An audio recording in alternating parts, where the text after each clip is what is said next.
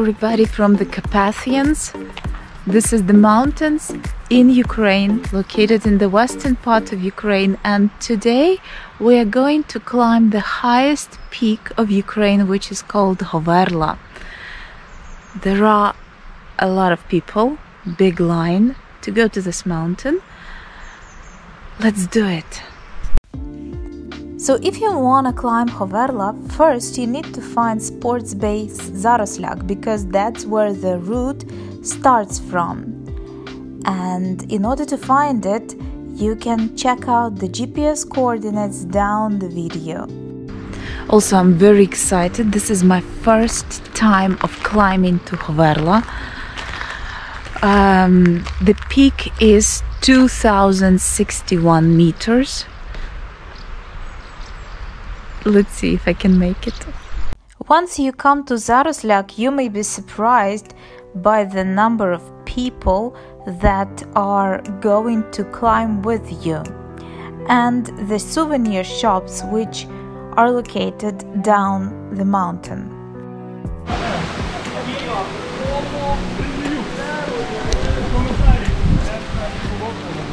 Here we go, starting the route. As it was my first hike to Hoverla mountain, I decided to do it with a group of people and with a guide. If you can walk fast with a group, you can do it in a group actually. If you prefer walking slowly and enjoy the views, it is maybe a good idea to take a private guide. I was always told that Hoverla hike is not a complicated hike and everybody can do it, even children can do it, which is true, children do hike Hoverla. But it's not as easy as I thought, honestly speaking. You still have to be in a good physical shape.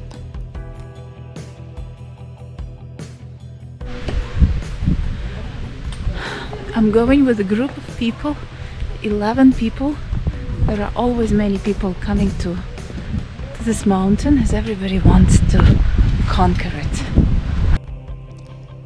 As you are climbing Hoverla, you should remember that you are in the National Reserve, so the area must remain very clean and tidy. You should respect the nature that surrounds you. I was hiking Hoverla in summer. The weather was fantastic. It was warm and it was very pleasant to take this hiking route.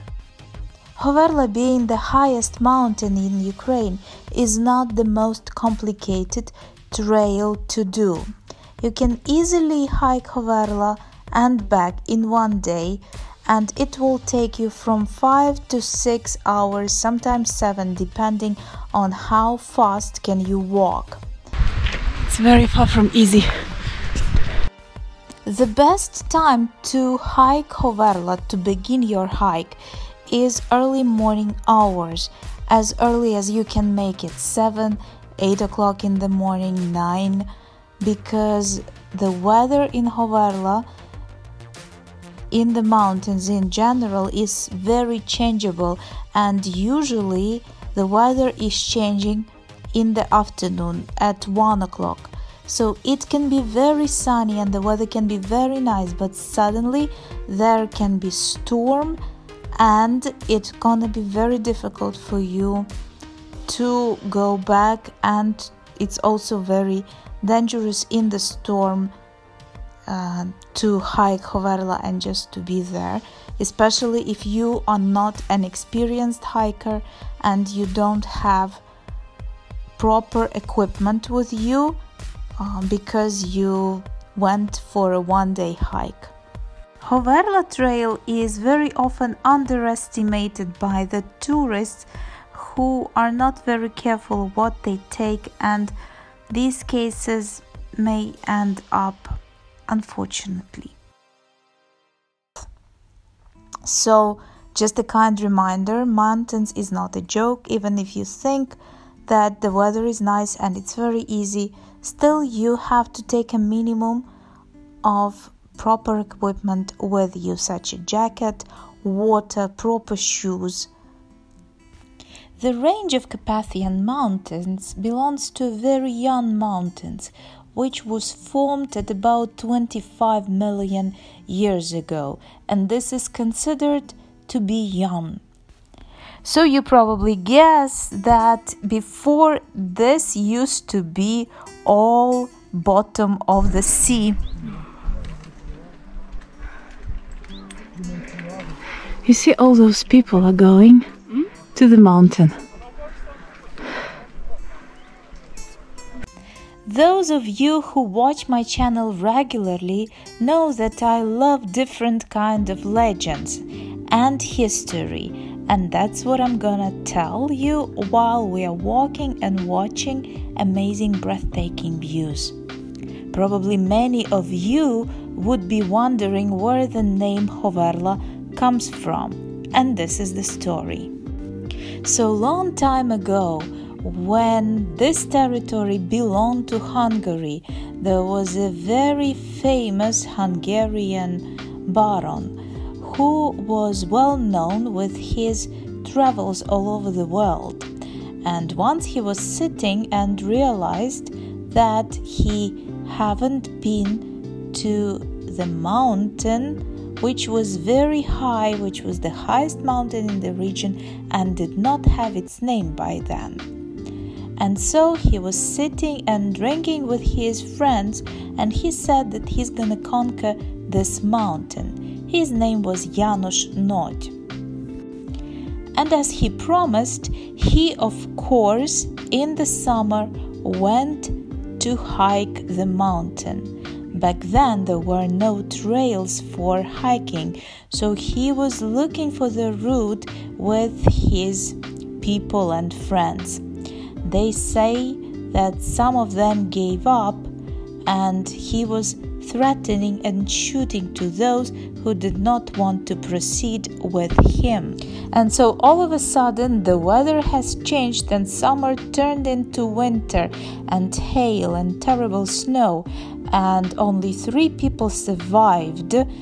And when they were running down, they screamed Hovar, which is translated from the Hungarian as the snowy mountain. So we just passed a smaller peak, which is called Hoverlana, and going to the higher one. It was not easy to get to Hoverlana as well, but it's about 300 meters more to the highest peak of Hoverla. And although maybe it doesn't look like that in the video, but I have to tell you that that smallest part was the hardest to hike.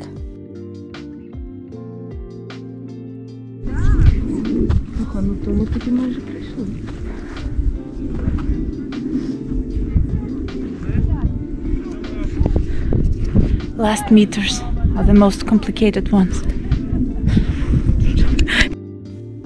I was very lucky with the views that I had back then when I was climbing because usually when you climb Hoverla, the this mountain the itself likes fog, so it's usually very foggy and in very rare cases you have crystal clear weather and you can see all the neighboring peaks and mountains. I'm happy I made it. so far, that's all. It was a very difficult hike for me indeed, and when I climbed up, I was very happy to find people who sell water there. The price of the water is 100 hryvnias per bottle, which is much more than in the shop. And also, you would expect when you climb the top of the mountain, you would want to sit, relax, watch calmly the views, and enjoy them. But as you see, it is not possible to do on top of Hoverla. It is interesting to know that the first hike to Hoverla tour hike was opened in 1880. Enjoying the views and going back is important step to do to finish this trip successfully. So i have to also comment on the hiking back which is quite a complicated one and um, the tour guide really helped me giving me the one of his um, hiking sticks Although on the video the road back doesn't look very steep, but believe me, it is very steep, and it's very good that it was not slippery on top of that.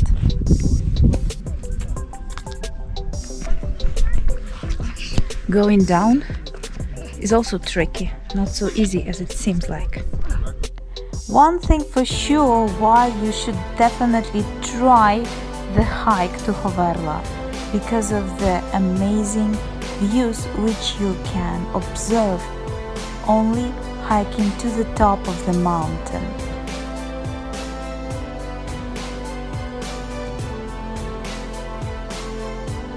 If you choose a different route on the way back, you can also find the range of waterfalls which is in total Uh, 80 meters and it is one of the highest in the Carpathians. Now it doesn't look like something, but when you go a little bit further down and look back, you will see how amazing this water looks.